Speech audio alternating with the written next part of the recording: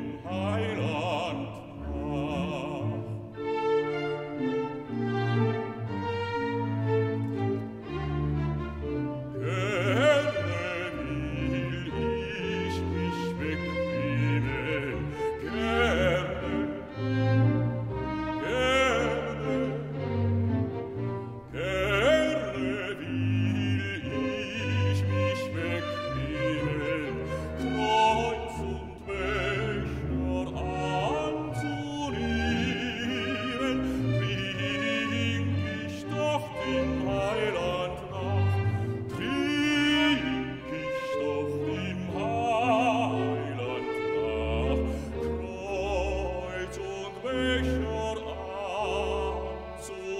you